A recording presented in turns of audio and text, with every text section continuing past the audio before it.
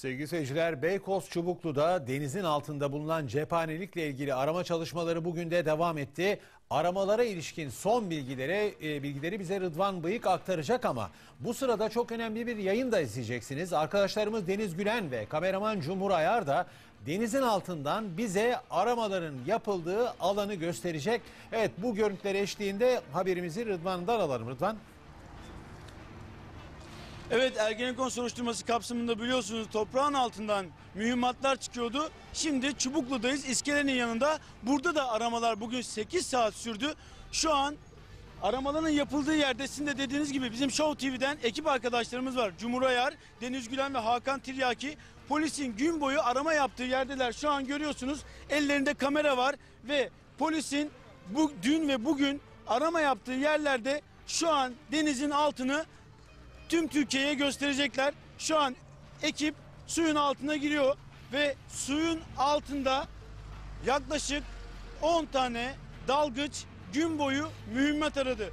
Dün ne geçti ele? El bombaları, plastik patlayıcı madde kullanımın malze, malzeme, mühimmat, sis bombası, büyü tuzağı, bir tane el bombası, silah parçaları ve aydınlatıcı fişekler, Kalashnikov, M16 ve her türlü tabancaya ait mermiler bulundu. Şu an denizin altında yosunları görüyorsunuz. Biraz sığ olduğu için bulanık denizin altı. İşte dalgıçlar gün boyu burada didik didik arama yaptı. Ellerinde dedektör de vardı ve dedektörlerle yaklaşık 1000 metrekarelik alanı taradılar. Bizim Show TV ekibini görüyorsunuz. Aynı böyle suyun altında mühimmat aradılar.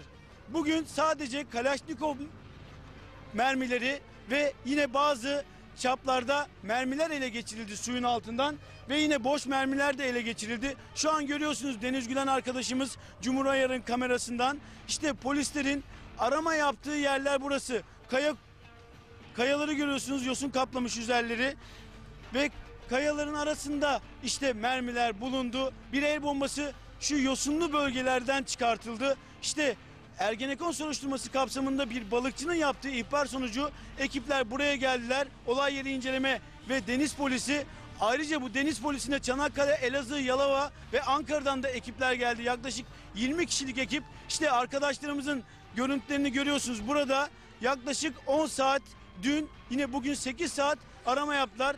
Görüyorsunuz işte yosunlu bölge işte tüm bu yosunlu bölgelerin arasından mühimmat aradı dalgıçlar ve yine Ergenekon soruşturması kapsamında mermiler, patlayıcı maddeler, Kalaşnikov mermileri, değişik çaplarda mermiler, plastik patlayıcılar bulundu. İşte Show TV ekibi şu an Çubuklu iskelesinin hemen yanındaki sığ bölgedeler. İşte polisler de burada gün boyu arama yaptılar görüyorsunuz. Şu an net olarak arkadaşlarımız yengeci de görüyorsunuz. Arkadaşlarımız şu an polislerin arama yaptıkları ve mühimmat buldukları yerdeler. Oraları gösteriyorlar sizlere.